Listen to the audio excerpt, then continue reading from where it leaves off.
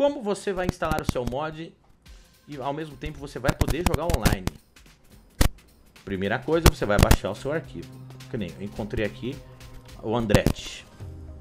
Aí, o que, que você fará? Baixou o arquivo, ok. Aí, você tem que se atentar a uma, uma coisa também.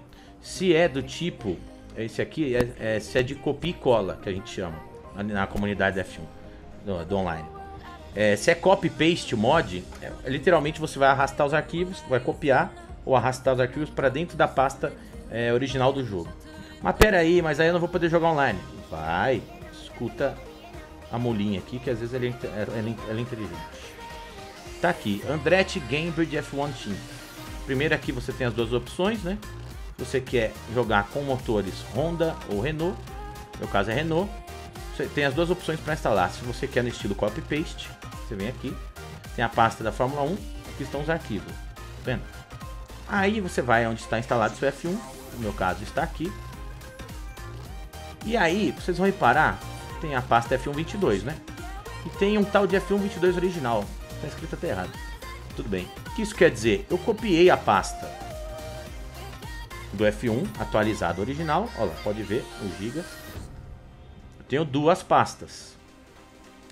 Uma eu não mexo em nada, que é o original, está aqui, bonitinho, para quando você quiser jogar no multiplayer. Do, com, é, como você quiser normalmente.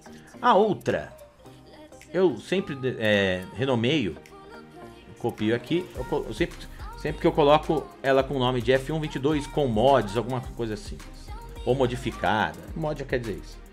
Por que esses dois? Porque aí você pode jogar das duas maneiras. E esse F122, então tá rodando o jogo agora com mods. Não é verdade, Favi? É, olha o carro da Andretti. Tá vendo? Ó, olha o carro da Andretti aqui, ó. Vocês viram que é, que é ele mesmo? Ó, ó, o Drugo na pista. Tá vendo, ó? Tudo customizado. Ah, mas isso funciona mesmo? Ué, claro que funciona, meu amigo. Senão não estaria aqui jogando. E outra coisa. Ah, mas é só dar o copy-paste mesmo? Isso. Eu fiz isso. E aqui estão os arquivos. Como é que eu provo pra você? Aqui, ó. Eu só arrastei. Repito. Você vai pegar a pasta original do seu jogo atualizado, copiar e colar. Uma pasta vai ter o, o nome F1 22, que é a pasta que vai rodar o jogo.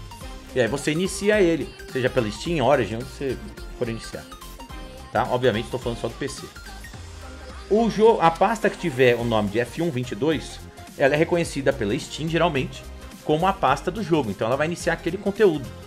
Portanto, se você for jogar com os mods, você tem que tirar, tem que colocar o nome da pasta F122.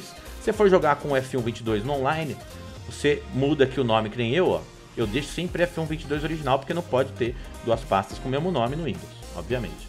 Então, ó, enquanto eu estou jogando com mods, está aqui F122. Quando eu terminar de jogar com os mods, eu vou mudar o nome dessa pasta, vou renomear para F122 com mods ou qualquer outro nome que você queira, não sendo F122.